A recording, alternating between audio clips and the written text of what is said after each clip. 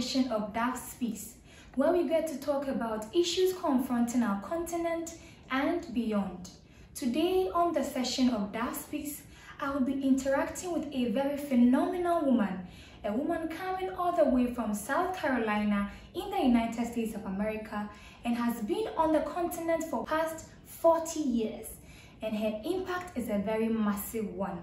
I am talking about Her Excellency Ambassador Dr. Erieka Bennett. She is the founder and head of mission for the Diaspora African Forum.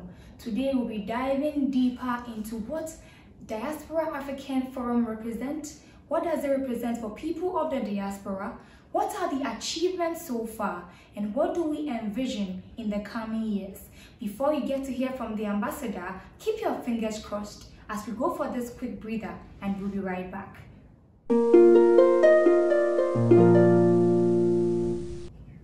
Welcome back from that short breather. As I said early on, I am having the head of mission of the Diaspora African Forum, Her Excellency Dr. Erieka Bennett.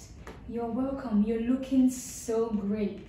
Thank you, Charity. You look beautiful too. Thank you so, so much. So today we are taking a deep dive in um, what Diaspora African Forum represents. But I want us to, I want you to take us through the journey. What actually brought you to Africa? Well, Charity, first of all, I'm delighted to be a part of this first show. And I think that we're doing this basically so that the world will know what we're doing. We are the Diaspora Africa Forum. We're the first and only diplomatic mission of its kind dealing with diaspora issues. Basically, there's two types of diasporas. There's my group, those of us taken from slavery, and we are considered the historical diaspora. Your group, people like you who know where you're from, people like um, Abigail who is going to the States and, you know, but she knows that she's from Ghana. You're considered the continental diaspora. And so basically the African heads of states, they understand now to move Africa forward, they need to include all of us. There's over 250 million of us outside of Africa. So the heads of states met and they said that we, those of us in the diaspora, the continental and the historical diaspora, we're now considered the sixth region of Africa. You know, Africa has five regions, yes. North, south, east, west, and central. So now we're considered the sixth region of Africa. So we're very excited about that, and this is why we're doing this show, because we want the 250 million people to know that we want them to be a part of Africa.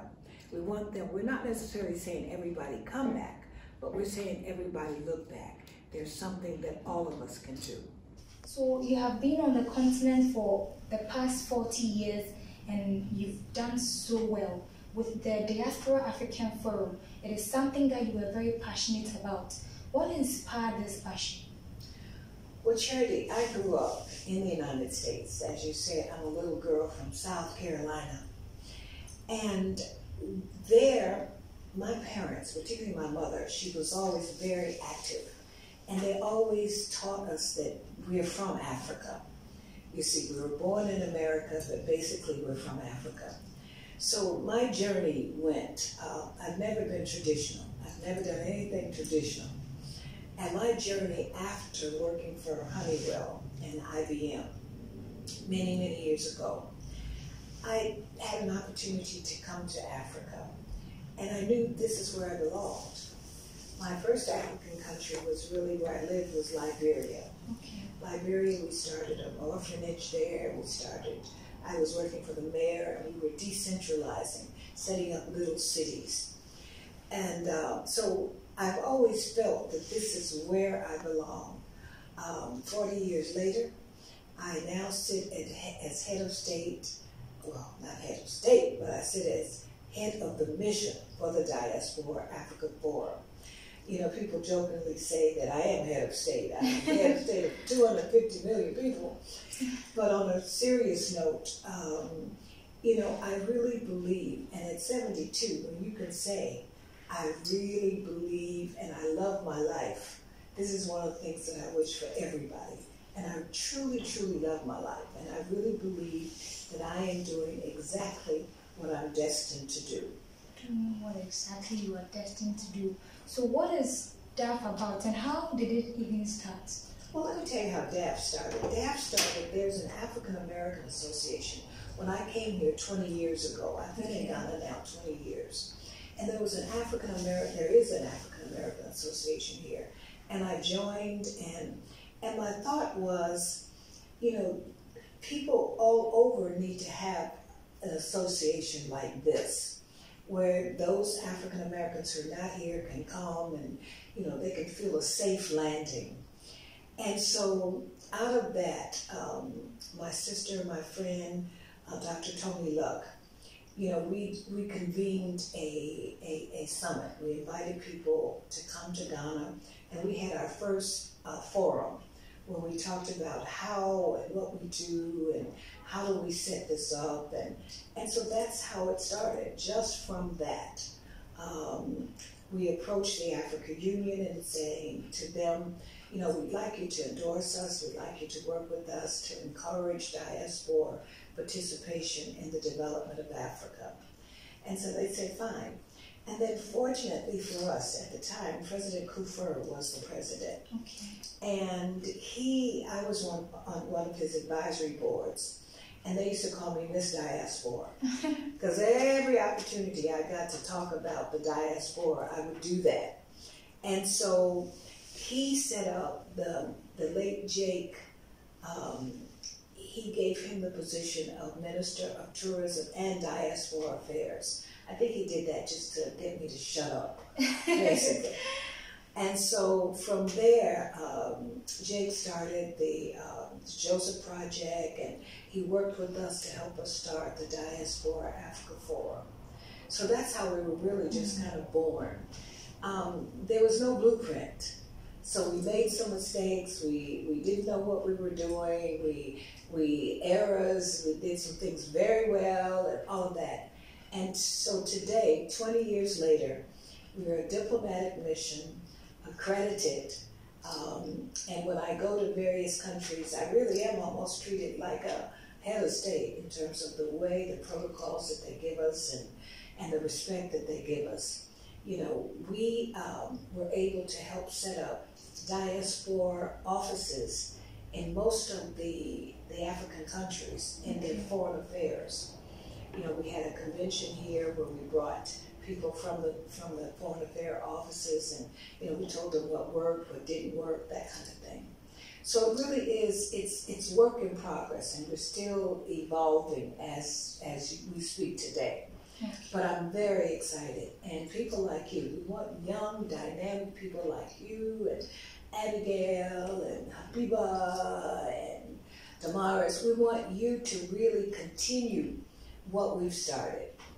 And uh, so we're really very happy to have you part of our team now. And we really expect a lot from you. We're looking for very good things from you.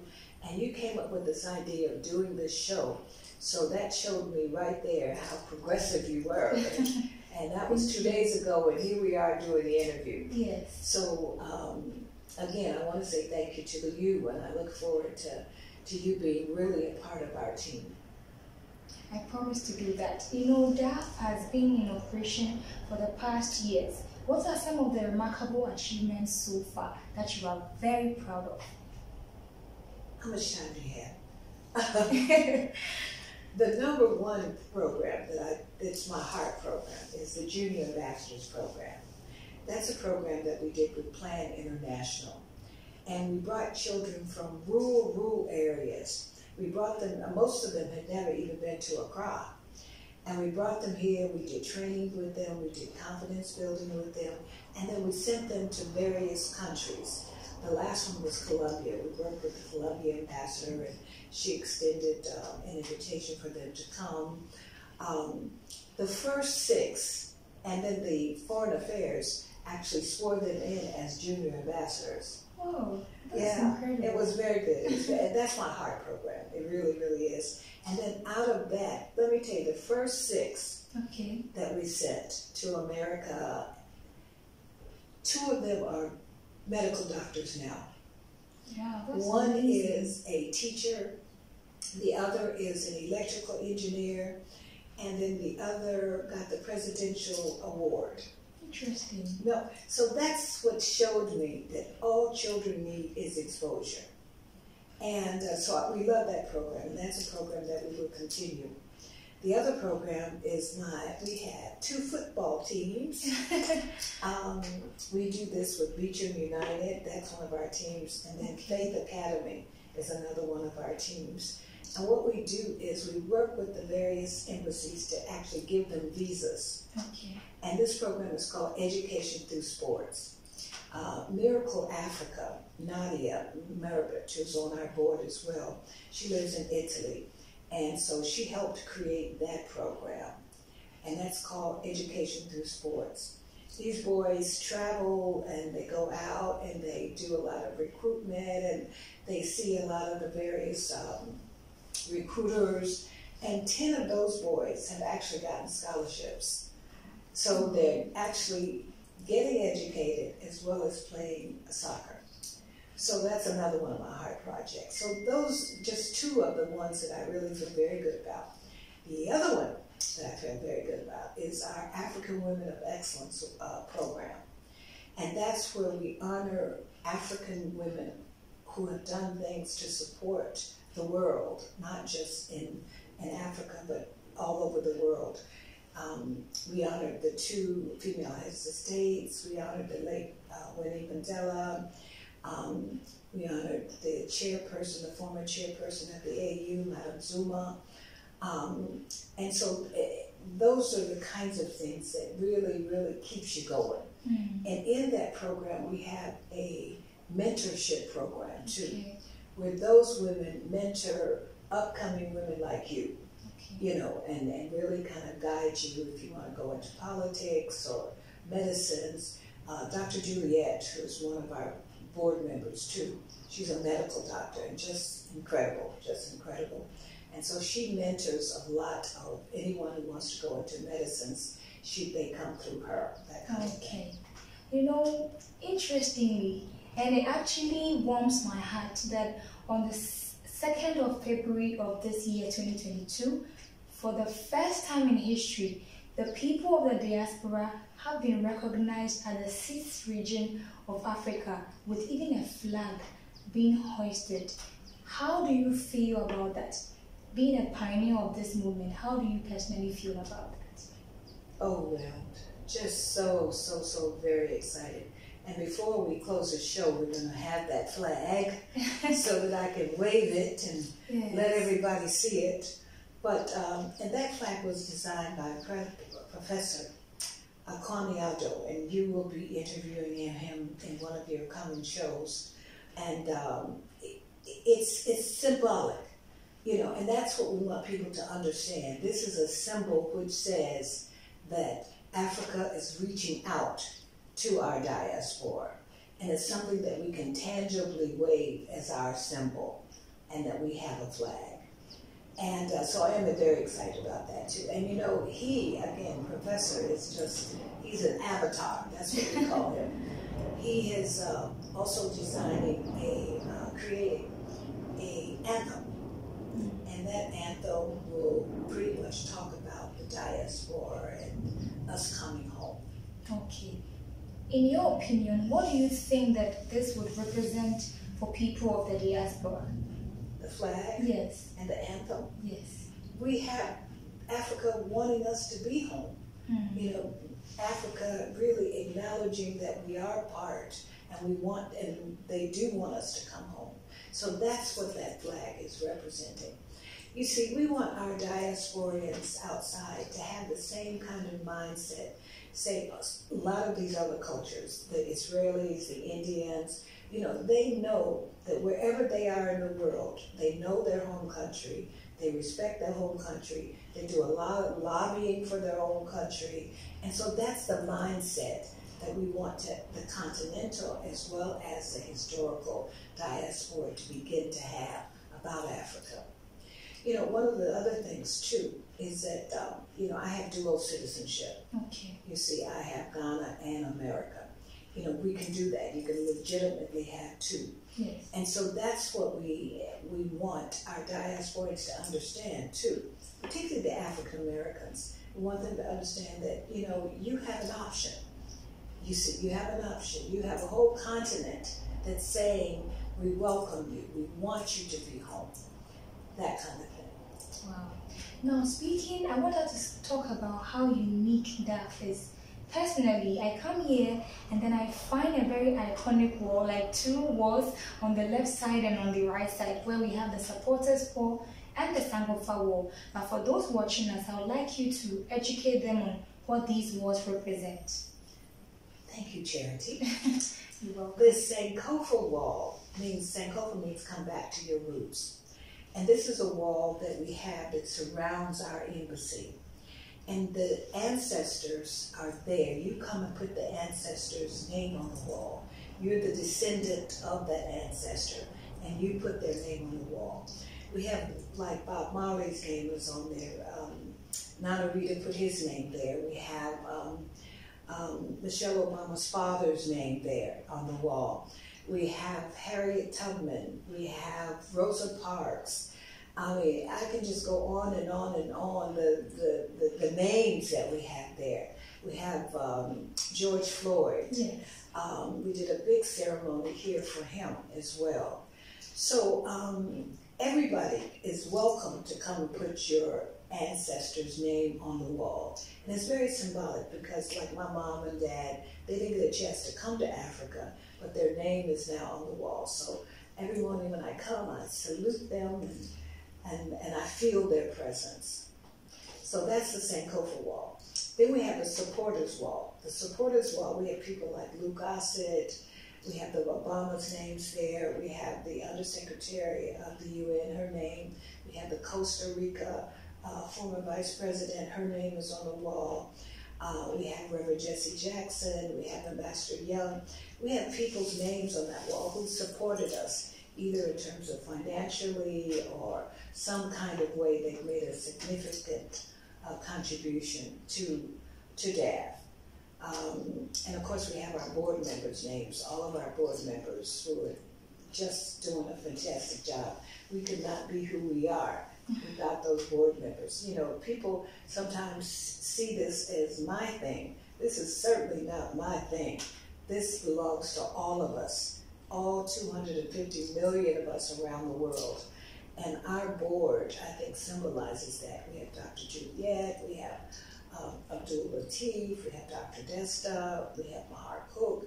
We have people who have really, really contributed to us moving forward contributed to us moving forward. So to you watching out there, you can see this opportunity to honor your ancestor on the Sankofa wall and you can also come and support this incredible mission happening here at Accra and you will never actually regret this. It's really a great opportunity. Before we go, I would like us to look at DAF in the coming years. In the next few years, in the next five you know, three years, where do you envision DAF to be? Well, first of all, Charity, DAF is really moving forward. I mean, really moving forward. That flag has propelled us. We launched the flag at the um, the Parliament, the, the um, Central Parliament in um, in Panama. You know, uh, yeah. So that was very exciting, very very exciting. Uh, we launched it in London. We launched it in Dubai. We launched it in, in Philadelphia. Um, so that flag is one of the things that we're doing now, launching it all over the world. Nigeria, we launched it in Nigeria with the um, the Oni of Ife. Yes. He had thousands of people there, you know, as we launched it. So it's very exciting, very, very exciting. And again, we have so many people to say thank you to. You see, and so I'm not even going to try to say thank you to all of them. The list 'Cause this goes would on be- and on. This would be a show on itself saying thank you. But so many people have really, really supported what we're doing. Um, you know, as I said, we've made some errors, we made some mistakes, um, but I see us moving forward. Um, I see us, uh, first of all, opening up other offices in other African countries. You see, we didn't want to rush doing that because basically we funded ourselves. Uh, my sister, Dr. Luck, and my brother, and, you know, and family members and stuff, we, you know, we really have put our money into this, you see. And so that, if you ask me what we've done very well, we created the awareness of what the diaspora can do. And so, and most of the heads of states understand that now. Most of the, um, the, the embassies have a diaspora unit in them now. So that's one of the things I think that we've done very, very well is created that awareness of what and the benefit of, of, of, of engaging the diaspora. The thing that we haven't done very well is the financial piece. We're so busy just kind of doing the work and spending our little social security money and our money, money, money, that we didn't really think about how do you institutionalize it? How do you make sure that it continues? When I had a heart attack, I had a major heart attack, and that was a wake up call for me. It really, really was. Because it really told me, okay, if I, if, if I die, then what happens to DAF? Mm. So what we've done is that we have an economic commercial attache now, um, Kwame uh, Asma, who is creating programs for us to generate cash, Okay. generate money, so that we can have a budget. Okay. Um, we're looking for a patron, someone who's, who believes in what we're doing and say, okay, we will finance you for the next five years, that kind of thing. Mm. Um, and we're setting up programs that we can, uh, can, that will help continue us. Okay. So that's the thing that you're doing right now. Okay. Um, if you want me to talk to your listening audience, I want to say to them that everybody can help us. Mm. You see, one of the things on our website, we have a, you can make a contribution, and those from the United States, we're a 501c. 501c means whatever money you donate to us, it's a tax write-off. Okay. So we have that set up. And then we're setting up a store too, where we can have products that we can sell on our website and that kind of thing. So that's what we're really working to do now, is to really make sure that we're financially stable and able to move forward. And we're looking for dynamic young people who want to work with us too Okay. you know, people like you who are doing your service with us, and you know, uh, we want you to become a part of us. We do have a program where we have brought in interns, and we have a program where students have actually come and worked with us and gotten credit and that kind of thing. So that's an ongoing program that we have as well. All right. So you've heard it all from the ambassador.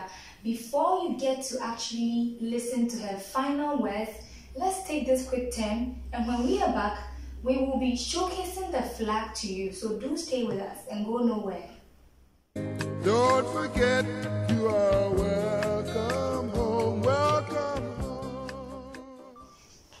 you very much for staying with us. Before we go, let us hear the final words from Her Excellency, Your Excellency. Well, first of all, we want to introduce you to this flag. This is your flag.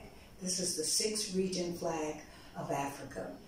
Uh, and again, we're going to have a program where Professor Kwame Ado, who is the designer and creator of this flag, will come and talk about the significance of it, the colors, the um, the the stars, so that you can really know about this flag. And it's available on our website. If any of you would like to have it, you're more than welcome to, to go to our website. Our website, which I'm sure will be on the screen, is www.diasporaafricaforum.org. And if you want to write us, info at diasporaafricaforum.org. All of this will be listed on your screen. But before I close, I just really want to say thank you very much, Charity um, for coming up with this idea to do it, number one. and to have all the stuff that we ta- it takes to make it happen. Um, I see you doing some incredible things, and I'm really, really honored and proud that you're part of us now. To my listening audience, I want to say this is your embassy. Um, everything that you need about it is on the website. Uh, our telephone number, our websites, and all of that. Um, I want to personally uh, to invite you to come to Africa, not just necessarily Ghana. We have 55 African countries that you can choose from. Of course, we're partial because we're here, but you're willing to go to any of the countries, whatever we can do to help you do that. We're willing to do that. So we say, Akwaaba when you get here, and we say, come home. Welcome home. Welcome home. Welcome home just by the legendary Osibisa. This is home. Ghana is the gateway to Africa, so I would recommend Ghana, but undoubtedly you can go to anywhere in Africa and just find peace at home. This is how we draw down the curtains for this first session of DAF Speaks. Please stay tuned as we bring you more next week. It's a bye now. My name is Charity Kesewa from home. Come with me. Come